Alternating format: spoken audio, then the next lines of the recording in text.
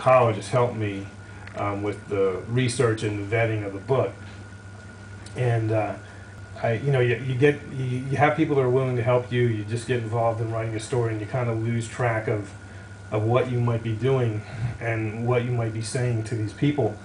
And um, I kind of lost track. They, they're my friends now, and, and, and I kind of lost track of exactly what I was asking them to do. So at one point when I was done this book, I sent it um, uh, to the medical physicist. "Could you could you read this and tell me what I got wrong and right?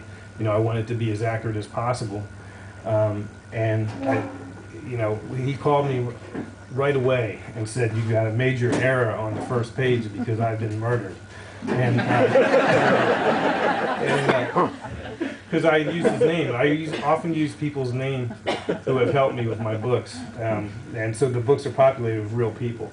So I switched him from being the dead guy to Harry's uh, new partner, which does not really um, give you a great life expectancy either.